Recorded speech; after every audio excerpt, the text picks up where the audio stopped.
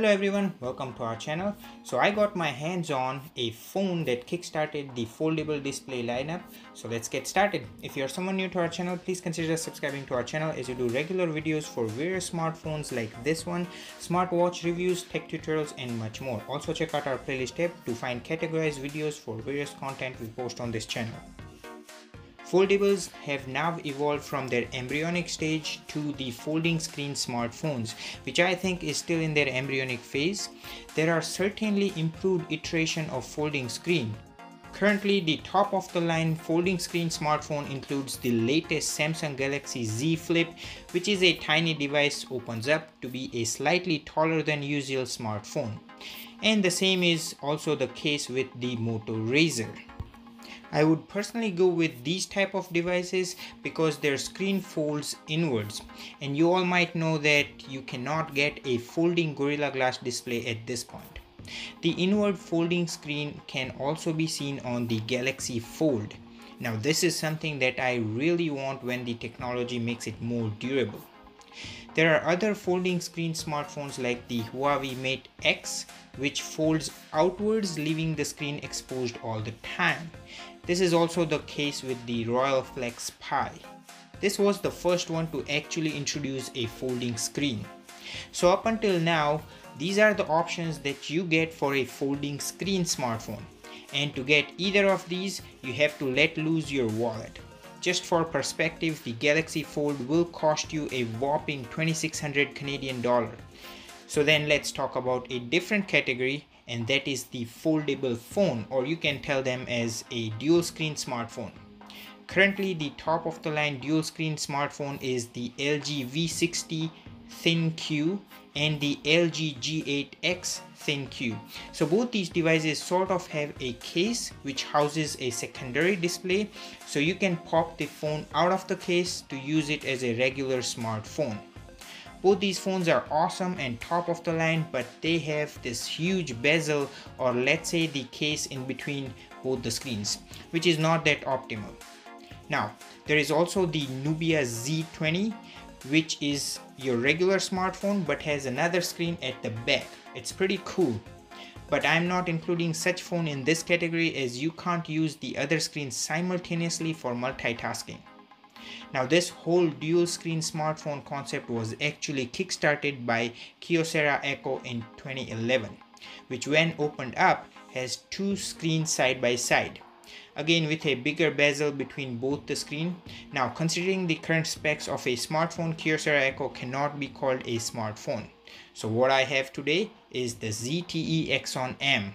It's a dual screen smartphone which opens outward but it has Gorilla Glass 5 display with the smallest bezel between both the display. Now yes, I get it. You might wonder why I have a phone announced in November 2017 with me. And there are two answers to it. Number one, obviously I can't get a phone except this one for 200 Canadian dollar. Yes, you heard it right. I got it for $200 from Amazon and I have linked it in the description of this video. The cherry on top is it's unlocked. I'm not a big YouTuber at this point to spend $2,600 to get my hands on a folding display device. So that's why I have this one on my table. Number two, as I said earlier, at this point, this is the only phone with the smallest bezel between two screens and it actually has a tougher Gorilla Glass 5 on both sides and the entire phone is made of metal and it feels premium. So in this video, I'll be talking about this phone and if you know about it already or you own one, you can just skip ahead and check out my other awesome videos. But if you don't, then stick around as this is a cool phone you don't want to miss out on. Quickly inside the box there was a USB Type-C fast charging cable and a user manual. Now this phone is not a top of the line smartphone. It only has a 4 gig of RAM and 64 gig of onboard storage. You also have an option to expand it up to 256 gigs with a micro SD card. This phone has the Android 7.1, the Nougat, with a 2.15 GHz quad-core Qualcomm Snapdragon processor with a Qualcomm Adreno 53624 MHz graphical controller. All this is powered by a 3180 mAh battery, which for me does not last a full day, but that's also the case with my S10 Plus.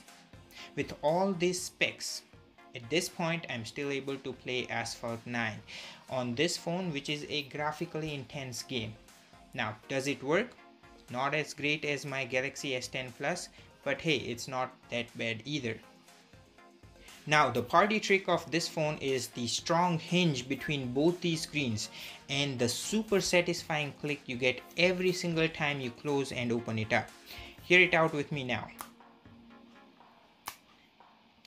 This is super satisfying and robust. You can even see at the back it's completely metal with precise grooves and indentation lining up together to have a strong folding mechanism. And due to the hinge on the right hand side, all the buttons are on the left hand side and to me even being a right handed person it was super easy to get used to it especially the right hand is free to use for navigation and it was relatively easy to hold with the left hand when opened up. At the top there is the SIM and the memory card tray. Under it is the volume rocker which is also metal and there is this power key with a built-in fingerprint reader. Super snappy to read your fingerprint and turns on the phone at the same time. There is a customizable button. You can use it for a camera control or quick launch to your favorite app.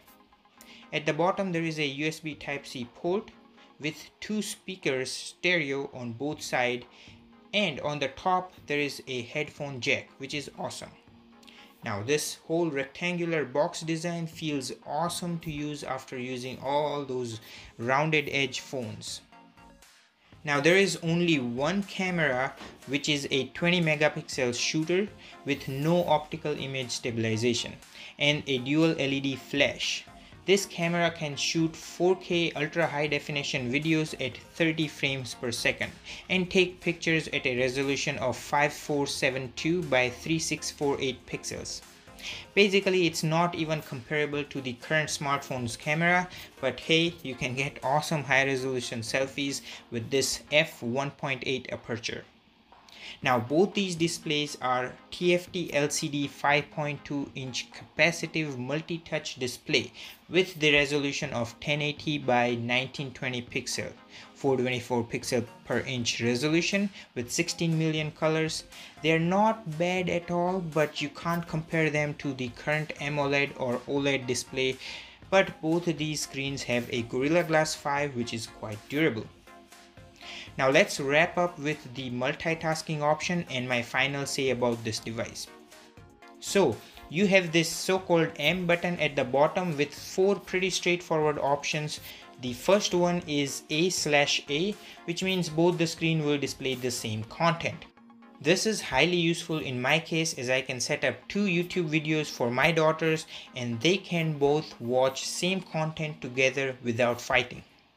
Next is so-called the tablet mode where you will be able to use it as a tablet. Just a side note, not all the apps are supported with this mode but most commonly used apps like Facebook, Google Chrome, Twitter, Messenger, uh, Amazon, etc. along with the YouTube are supported.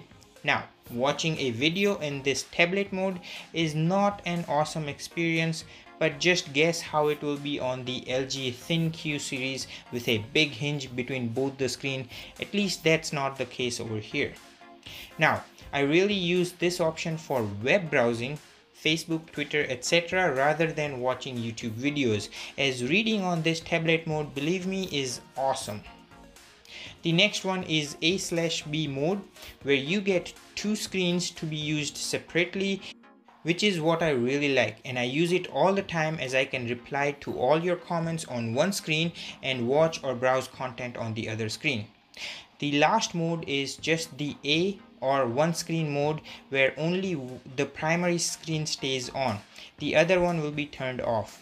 The only scenario where I think I use this mode is to use the other screen as a phone stand. So as you can see, this is a highly functional phone. I wish they could have reduced the center bezel by just having one display's edge touching with the other display's edge to have sort of a no bezel at all, if you know what I mean. So will I recommend this phone in 2020? The answer is no because it's slow. Here is the Geekbench score of this phone versus my Samsung Galaxy S10 Plus. ZTE does not have a top of the line specs or camera and it runs on an older Android version. Plus there ain't a lot of apps supported for the tablet mode. But hey, if you're someone like me who does not want to break the bank and get your hands on a dual display technology, then this is absolutely worth it. If that's the case, then just click the link in the description down below to get one for yourself at only $200 until the supply lasts. Also let me know if in the comments down below if you want me to do more videos on this phone. So that's it with the ZTE Axon M dual screen folding smartphone please support my channel by subscribing so one day I can get those expensive top of the line folding phone to bring them up to you. So I really hope you found this video helpful. If you did then please give this video a thumbs up and maybe give it a thumbs up anyways as an appreciation to our effort for making this video. It really means a lot. Thank you so much for watching and take care. I'll catch you guys in the next one.